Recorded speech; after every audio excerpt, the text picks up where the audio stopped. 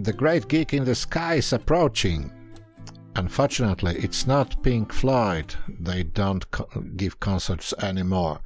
But I'm going to tell you something about the future. Hi, this is Mario Forex, other way, channel for traders run by a trader.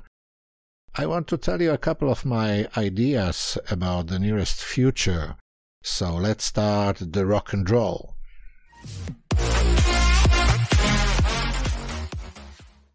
So I think in the very close, very near future, pretty big event will take place.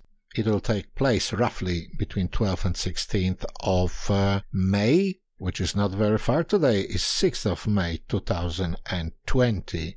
And I presume that very soon, about let's say 8-10 days, it will be something major which will happening.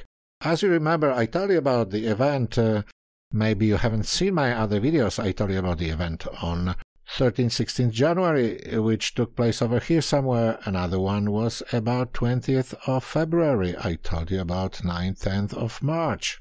The next one, I presume it will be roughly between 12th and 16th of May 2020. So what's the idea? The idea is that let me show you at the very beginning. What is the big gig in the sky? What Gilmour wanted to tell us in the early 70s uh, about this gig about 2020. That's what happens. At the moment we are on Astrolog. This is May 6, 2020. Let me go to to the beginning of the next decade of this month. So at 12th of May, Tuesday, we've got such a situation, even it starts on 11. Please have a look, have a butchers here. Mercury is getting into the Gemini, it's changing the zodiac on 11th. On 12th, next day, look, it's 12th of May, Mars is going to change the zodiac. Here's the story. On 13, Venus starts retrograding. Look, 12 it's not retrograding. On 13 of May Wednesday it starts retrograding. 21 Gemini. 2150 what next? When you see over here Saturn already started retrograding earlier. On 11th look 11th Saturn start retrograding. Mercury is changing zodiac on Monday 2020 on 12th Mercury already in Gemini. Mars is nearly approaching to the is crossing to to Pisces from Aquarius. On 13, Venus starts retrograding. And let's go further. On 14, Jupiter starts retrograding. And if we go further, we can see later on that Sun is going on 20th of May, is changing zodiac as every year, getting from, from Taurus to Gemini. So, what you reckon? Big gig in the sky. Let me show you what it has got to do with the market. If you consider nothing, just watch my other videos. If you are interested, let me show you. Stay with me, bear with me a minute. Euro USD, that's what we've got here. Daily Euro USD daily. We had a high over here on 31st of December. We had a low on 20th of February. We had a high on 19, 9th of bloody March. And so let's make a triangle. Let's make a triangle. I'll show you what happens with that. There's one top, another bottom, and one top over here.